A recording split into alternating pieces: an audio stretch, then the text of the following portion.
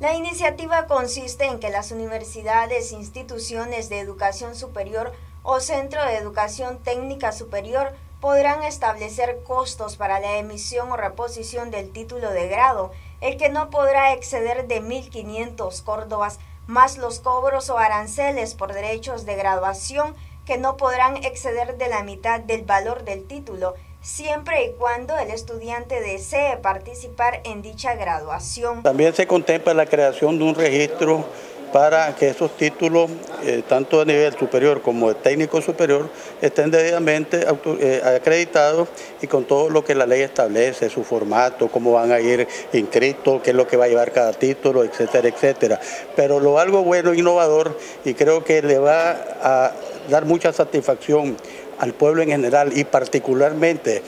a los estudiantes que son egresados de las universidades, es que antes de una forma discrecional las universidades cobraban por el título o por el curso de titulación, como le decían, hasta 2.000, 2.500 dólares y era lamentable y penoso ver a estudiantes, excelentes estudiantes con un buen promedio en su pénsul académico, que hasta de 90, con un magna cum laude, con un laude, eh, de que no podían acceder a un puesto laboral precisamente porque no tenían su título, por la cantidad exorbitante que tenía que pagar para poder obtenerlo. Esta, esta nueva ley contempla, y ya es un hecho, de que ningún centro superior o técnico superior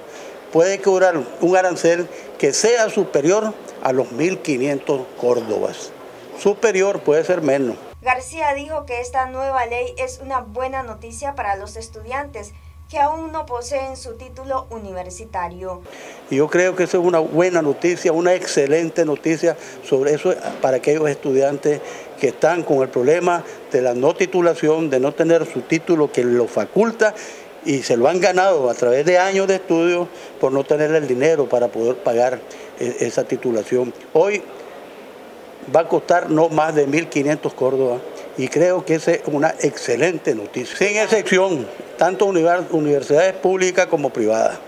Asimismo, los títulos otorgados con anterioridad a la presente ley tendrán la validez siempre y cuando hayan cumplido con las obligaciones académicas correspondientes. Noticias 12 Darlene Telles.